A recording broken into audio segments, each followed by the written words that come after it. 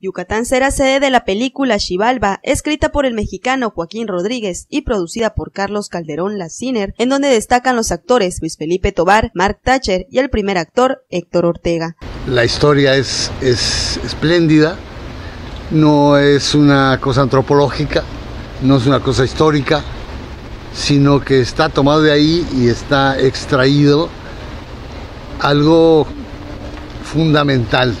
este, lo que está extraído de ahí es ni más ni menos que la leyenda. Una leyenda que nos une con la magia internacional, porque inmediatamente a mí me, subyugó,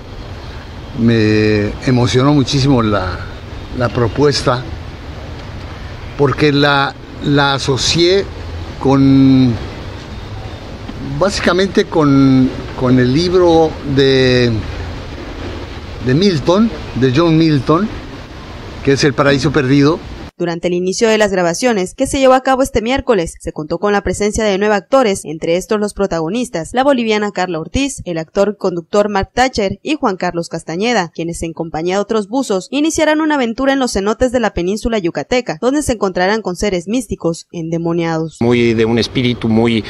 muy muy tranquilo, muy relajado y entonces nos gusta vivir la vida, tanto así que pues ella es completamente multimillonaria y se casa con este pobretón, pero es simpaticón,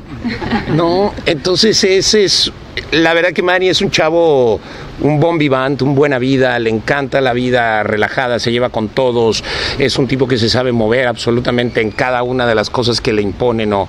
o, que él quiere hacer, entonces es uno de los... Eh, expertos de la zona, pero porque la ha caminado como un buen nómada, ¿no? Entonces es, es alguien en quien se puede confiar, sí. y eso es una de las cualidades más grandes que tiene este personaje. Hacer una película de, de una de las culturas que yo eh, personalmente admiro mucho, que es la cultura maya. Eh, el mundo piensa de repente que después del 2012 eh, todo esto del mundo maya se ha terminado, pero creo que Xibalba va a probar que es completamente lo contrario, que existe mucho más detrás de, esta, de esta cultura milenaria. Por su parte, el creador de la historia, Joaquín Rodríguez, agradeció la participación del productor y consultor Alberto Agar, quien ha colaborado en el desarrollo de esta historia y resaltó que esta sería la primera película mexicana de ciencia ficción pero sí esperamos tener una gran oferta para el cine no mexicano, sino para el cine internacional. Para mí es muy importante destacar que nosotros eh, no, decimos que hacemos cine mexicano, queremos hacer cine internacional porque México se merece estar en las pantallas internacionales. Porque así como los hermanos Rodríguez crearon el sonido en el cine, así como la Revolución Mexicana fue el primer largometraje en la historia de la cinematografía con los Lumière,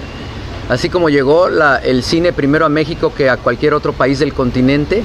nosotros debemos de hacer un cine internacional. En esta película también participará el conocido buzo investigador yucateco, Sergio Gorgen, quien fungirá como coordinador de producción subacuática, en donde se tendrá una inversión de 30 millones de pesos y deberá estrenarse en 2014. Con imágenes de Víctor Wicap, Georgina Baselis, Notivision.